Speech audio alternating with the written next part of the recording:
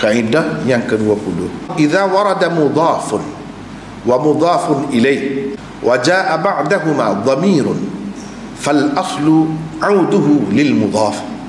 Apabila tersebut mudhaf dan mudhafun ilaih dan ada pula satu dhamir selepasnya maka mengikut kaedah asalnya ialah dhamir itu hendaklah kembali kepada mudhaf ni saya tidak nak bahas lah mudhaf tu nak rayak pula mudhaf mudhaf ilaih apa tu asalnya tak perlulah keterangan kaedah ini terpakai dalam keadaan tidak ada qarinah. Jadi petunjuk yang menunjukkan dhamir itu tidak kembali kepada mudhafun ilaih kalau ada bukti yang menunjukkan dhamir itu balik kepada mudhafun ilaih kena balik situ. Tapi kalau tak ada bukti kosong daripada bukti. Maka dhamir itu nak balik kepada mudhaf ilaih kalau nak balik kepada mudhaf. Jawabnya mengikut kaedah asalnya dhamir ni dia balik kepada mudhaf.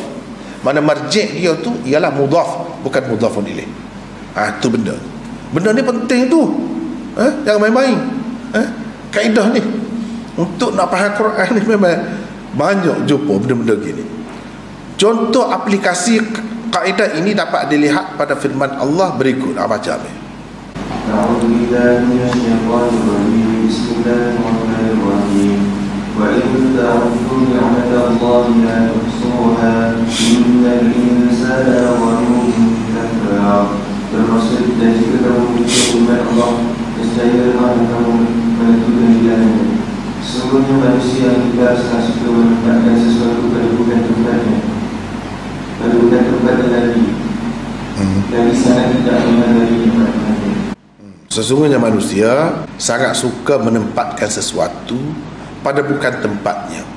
Lagi sangat tidak menghargai nikmat. Ah, itu manusia ni, sifat manusia ni. Jadi kita tidak nak bincang tentang tafsir dia.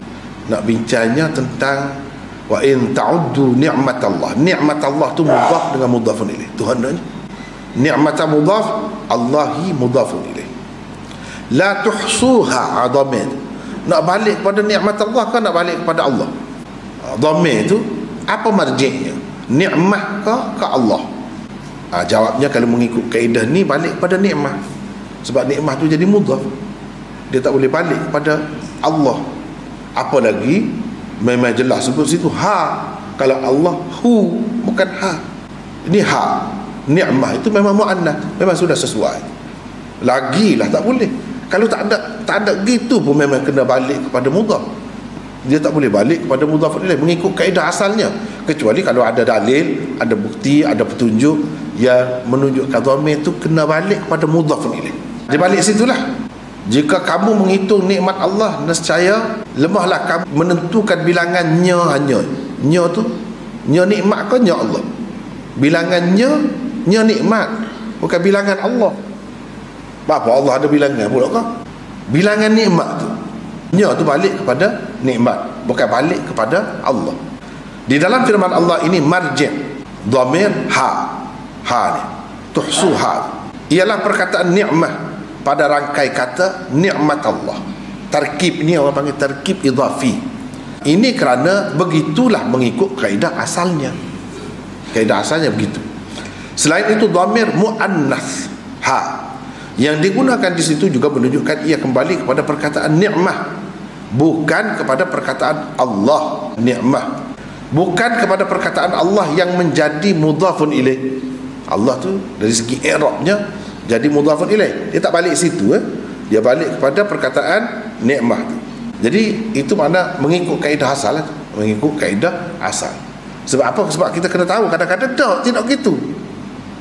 Tapi tidak gitu pun bukan bermakna salah. Tidak salah. Ha, tu benda kena tahu.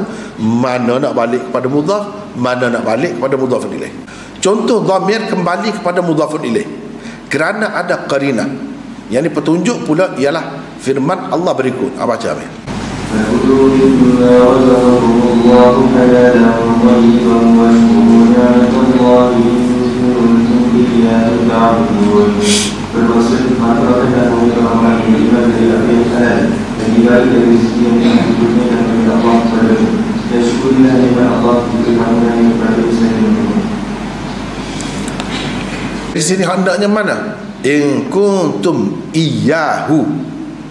di sini sebelum pada dia ada nikmat Allah juga. Sebab tadi washkuru nikmat Allah.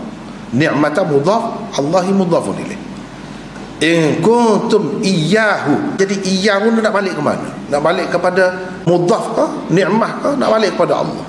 Jawabnya balik kepada Allah di sini. Bukan balik kepada mudhaf. Walaupun mengikut kaedah asalnya dhamir ni dia balik kepada mudhaf. Tapi oleh kerana ada qarinah di sini yang menunjukkan dia tidak boleh balik kepada mudhaf tetapi kena balik kepada mudhaf ilaih maka kita kena kata dhamir itu balik situlah iyahu tu balik kepada Allah jika kamu akannya atau jika kamu hanya kepadanya saja menye. Jadi nya tu apa? Kalau Melayu ni jelas lah. Nya tu sebab n tu huruf besar. Mana Allah lah. Tapi kalau nya Jawi, tu lah juga. Tak boleh tahu. Ni nya Rumi. Boleh tahu lah. Pas Allah ke nya tu ataupun nikmat. Ah tidak dia tak pergi kepada nikmat, tak boleh. Sebab sembah ni kita tidak sembah nikmat. Kita sembah Allah. Kau semua nikmat. Kalau balik kepada nikmat bermakna kita semua nikmat. Macam mana gitu? Kalau semua nikmat, nikmat tu banyak. Macam mana kata saja pula?